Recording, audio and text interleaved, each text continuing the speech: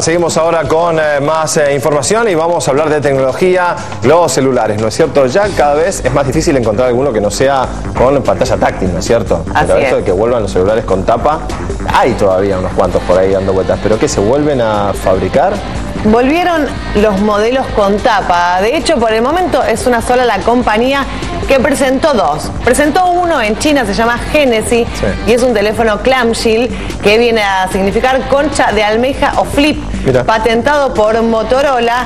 Y tiene pantalla tanto en la parte de afuera como en la parte de adentro. Es un teléfono, un smartphone de gama alta. Dice que va a llegar a todos los países del mundo y dio mucho que hablar porque dice que es el regreso de los celulares con tapita porque están patentando otro modelo que también tendría tapa. Y me parece un buen síntoma porque desde que apareció el iPhone, todos los celulares, como vos decías, Pablo, son con pantalla táctil y tendió a desaparecer tanto el teclado físico como la tapa. En este caso estamos hablando de un teléfono con dos pantallas de 3,3 pulgadas. Está bueno esto. Sistema operativo Android. Eh, perdón que te interrumpa, porque en realidad si te suena el teléfono en el bolsillo, vos metes la mano y quizás ya atendiste sin darte cuenta, lo desbloqueas, decir, ¿no? Porque el tema que tenga la tapa eh, protege de alguna manera la, la posibilidad de cometer algún error, ¿no es Sí, cierto? es más simple atender un llamado y recordamos que se hizo famoso este tipo de formato en teléfonos con el famoso StarTAC de Motorola en 1996.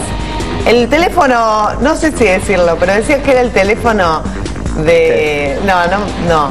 Pero bueno, era el teléfono negro, un teléfono negro que se hizo muy famoso y que fue como el teléfono de gama alta Claro. de los usuarios. Es decir, el más top tenía el teléfono StarTAC y se estigmatizó. Si no eras buena persona, tenías un gato. Ah, sí, ya sé, sí, Un sí. teléfono StarTAC.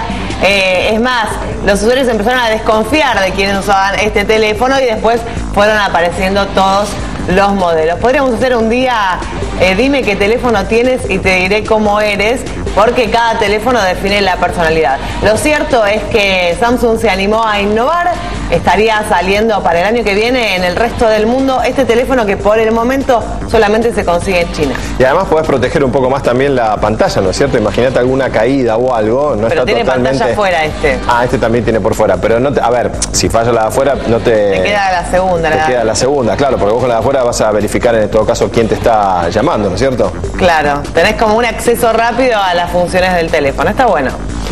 Muy bien, 11.51 minutos, eh, volvemos con eh, Juan Paso para hablar del Barça que, claro,